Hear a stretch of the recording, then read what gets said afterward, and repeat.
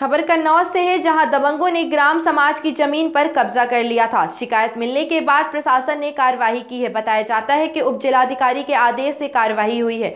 शिकायत मिलने पर तहसीलदार और नायब तहसीलदार ने मौके पर पहुंचकर ज़मीन को मुक्त कराया है। लगभग 200 बीघा पर खड़ी फ़सल को ट्रैक्टर से जोता गया है। यह मामला सौरिक कोतवाली के ग्राम गयासपुर का बताया जाता है।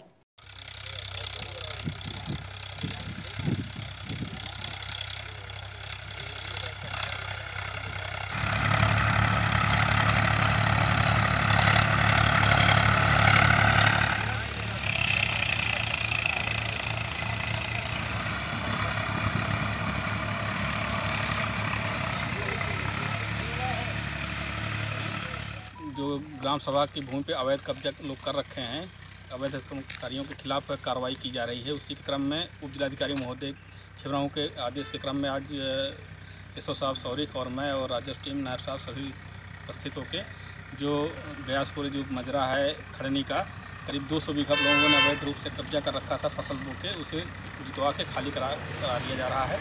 अगर भविष्य में कोई फिर दोबारा कब्जा करता है तो उसके खिलाफ वैधानिक कार्रवाई की जाएगी।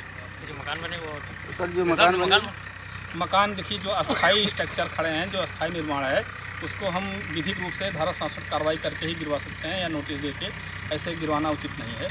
तो विधि व्यवस्था के अंतर्गत ही उनकी व्यवस्था उनको भी गिरवाया जाएगा मुकदमा दायर करके उनको भी शासन कार्रवाई करके कराया जाएगा। सर्व सुविधायुक्त नेशनल हॉस्पिटल समान तिराहा रीवा में। अब कैंसर का सफल उपचार और ऑपरेशन की सुविधा उपलब्ध है। हमारे यहाँ मिल रहा है आयुष्मान भारत निरामय योजना का लाभ। आयुष्मान जन आरोग्य योजना के तहत सभी प्रकार के मेडिक्लेम की सुविधा उपलब्ध है।